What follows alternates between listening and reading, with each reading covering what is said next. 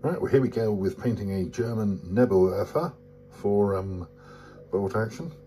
Um, the crew have all been uh, primed black and uh, the Nebelwerfer itself actually, um, I've actually got a bit ahead of myself, is after priming with um, Army Painter uh, Skeleton Bone, I've already given it a, an initial coat of Aggaros Dunes, the uh, contrast, contrast paint from Games Workshop. Um, but I'll put that to one side for a minute whilst I work on the uh, on the crew. But here we go. This is the uh, first stages here. And here we are at the next stage. The crewmen have all been given a good heavy dry brushing of uh, Vallejo's Burnt Umber. Let's just have a look at this chap here. Yes, there we go. Provides a good base for uh, stuff going on on top. And the next stage, the uh, crewmen have um, all been given quite a, a reasonably heavy dry brush of uh, Vallejo Field Grey, um, leaving some of the black primer and um, heavy brown coat underneath showing through in a little bit. There we go, that's the next stage. On of these, isn't it? Yeah, there we go. And here we are with the next stage, jackets or trousers or, or both that are going to have camo applied to it have all had a coat of Vallejo German camo pale brown.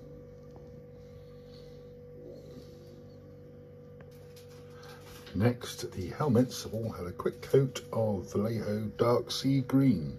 Yeah, I know it says Dark Sea Green, but it looks great, doesn't it? But what the hell? That's the colour. It looks okay. Well, the next stage of painting on the um, areas that were painted um, German camo light brown, um, camouflage is starting to take shape where um, some patches of uh, Vallejo Russian green, I normally use Vallejo Russian uniform actually, but I picked up the wrong bottle by mistake, but it's done a good job. Um, yeah, patches of Vallejo Russian green with small blobs of Vallejo olive green on top on the relevant parts. I mean, that's where we are. And a few smaller bits of detail have been applied now. Um, the braces on this guy's uh, trousers done with khaki, as have been the um, two chaps here carrying ammunition for the Nebelwerfer. The ammunition or ammunition cases have been coated in khaki.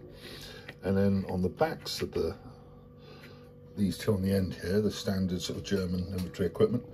The um, brown parts of the bottle there have been done in Vallejo flat brown and uh, the bread bag done in green ochre and uh, Russian green for the gas mask canister and uh, boots and belts have been given a coat of uh, Vallejo black grey.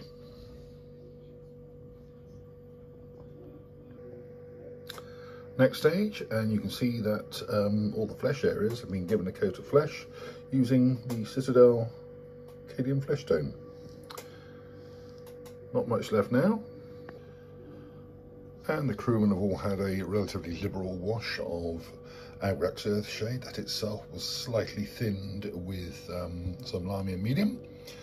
Uh, getting ready, whilst that dries, let's turn our attentions back to the Nebelwerfer itself which as you can see the tyres had a coat of Vallejo black grey. Now I'll get some contrast paints out to provide a bit of camouflage on the Nebelwerfer to match German vehicles of the uh, same period and we'll come back shortly. Okay, back once again to the Nebelwerfer itself and as you can see I've applied some camo to the uh, main part of the model using Creed Camo and Wyldwood, two contrast paints from Citadel.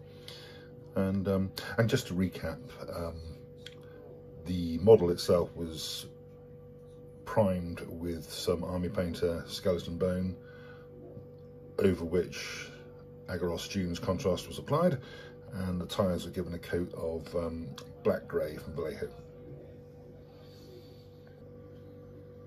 And there we are. The um, crew have had their uh, camo touched up by um, having the olive green, the lighter of the two greens, um, touched up over the dark green and a couple of spots here and there of camo added. So the net effect is it ends up being a bit of a bastard child of the spring oak leaf camo pattern and the pea-dot camo pattern, but you know, on a 28mm miniature, it doesn't matter as long as it looks the part. So there they all are, ready to be glued to the base and have some basing uh, added. Right, there we go with it all glued on. base edges um, painted as well. So let's uh, let's go ahead and get some texture on. Right, base texture added.